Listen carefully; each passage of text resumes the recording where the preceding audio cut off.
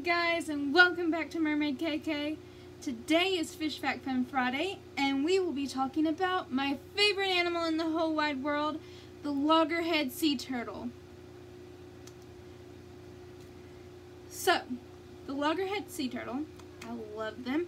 They are named for their exceptionally large heads. Don't ask me why it's called a loggerhead when it's I guess because logger and large sound similar. Anyway, their scientific name is Caretta caretta. That's very pretty sounding and I love it. And all you're doing is repeating one word two times. Caretta caretta. You just repeat one word. Easy to remember. Um, so their head is very large with strong jaws uh, their carapace here, their shell, is uh, is bony without ridges. So they don't have ridges like a snapping turtle or an alligator snapper. I'm using things that I know what they look like. Um, and has large overlapping scutes. Scutes? Shoots? Don't ask me how to say that. It's hard to it's hard to pronounce. Uh scutes or scales present with five lateral uh, scutes or shells or scales. so the carapace is heart-shaped, and the front flip, oh, you can't see. The carapace is heart-shaped with five lateral scales. All the scales overlap. Um, the front flippers are short and thick and have two claws, while the rear flippers have two to three claws. So, Either way, they're still adorable to me. Um, the carapace, as you can see, is a reddish brown with yellowish brown plastron, or the belly. It's a yellow brown plastron. Lots of big words in today's episode. Um, hatchlings have a dark brown carapace with pale brown flippers. So, they're really cute. they can grow they grow up to be two and a half to three and a half feet in just the length of their carapace. Adults can weigh between 155 and 375 pounds. The heaviest thing I've lifted is my sister, and she's like 190 pounds. so I could pick up an 155 pound sea turtle. 375? Highly doubt it. I am a tiny child. I'm 5 foot 3. um, anyway, they're primarily carnivorous and feed on mostly shellfish, which this is where the strong jaw starts to come into play because they use their jaws to crush the shellfish, which the shellfish they usually eat are found on the bottom of the ocean, like horseshoe crabs, uh, clams, mussels, and other invertebrates. So, um, like jellyfish. I saw a video. Don't remember where I saw it, but there was a sea turtle eating a jellyfish. Weirdest thing I've ever seen. But then again, I've seen my brother and sister eat the horse. Um, they prefer to feed in coastal bays and estuaries. Don't ask me if I'm saying that right, because I haven't the slightest clue.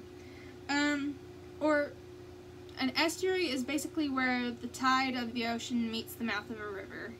So, as well, uh, they also like to feed in uh, the shallow waters along uh, the continental shelves of the Atlantic, the Atlantic, the Pacific, and the Indian Oceans. Um, when nesting season comes, they nest at intervals of um, two to four years. So every two to four years, we get a bunch of baby sea turtles. Um, they lay three to six nests per season, approximately 12 to 14 days And each nest can contain between 100 and 126 eggs. So many babies. Um, and the eggs usually incubate for about 60 days. So in 60 days, if you're there when the mother lays the nest, makes the nest, and lays the eggs, and you come back in 60 days, and there's baby sea turtles. So basically two months. Um, their status. In the U.S., the loggerhead sea turtle is uh, listed as threatened, which means that they are likely to become endangered or are in danger of extinction in the foreseeable future. Um, and they are protected under the U.S. Federal Endangered Species Act. U.S. Endangered. The U.S. Federal Endangered Species Act. Ugh, tongue twister. Um, internationally, they're listed as endangered, which means they face high, a high, very, very high risk of extinction in the wild in the near future. Um, they're listed like this by the International Union for Conservation of Nature and Natural Resources. So, we are working to protect these sweet, sweet babies.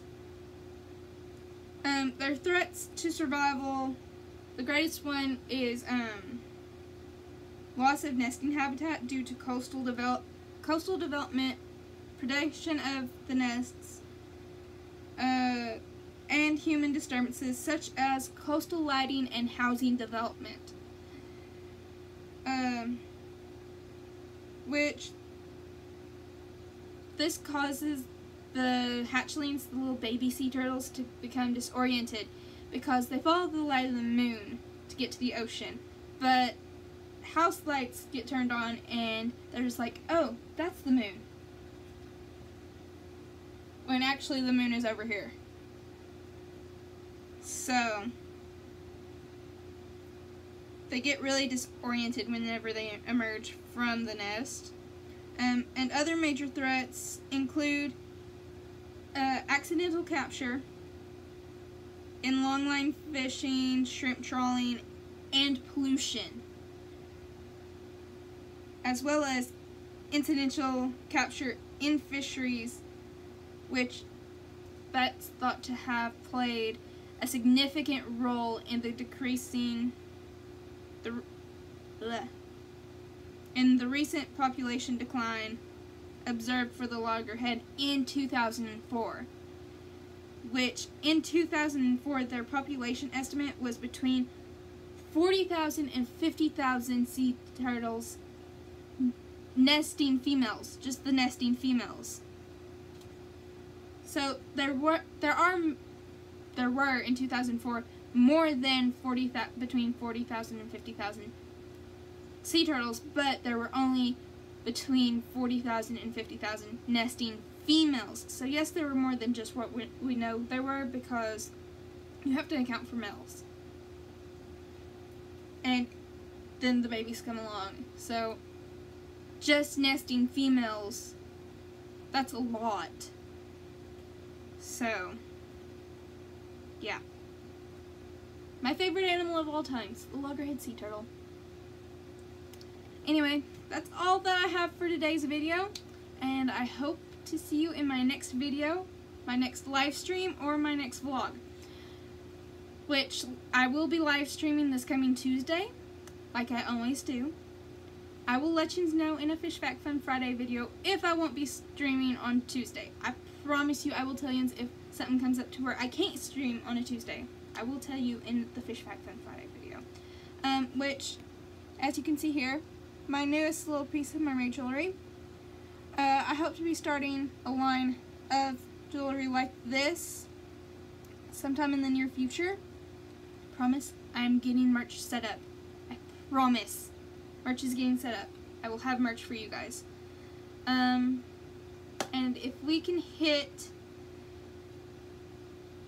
let's say, 10 subscribers by, let's see, the 31st of this month. If we can hit 10 subscribers by the 31st of this month, I will do a giveaway. I don't know what I'm giving away yet, but I will do a giveaway of something. so, it may be a little bit of artwork that I've made, or it may be your very own little mer-inspired jewelry. But I will do a giveaway if we hit 10 subscribers by the end of the month. Okay? Love you guys, and I will see you in the next video. Bye!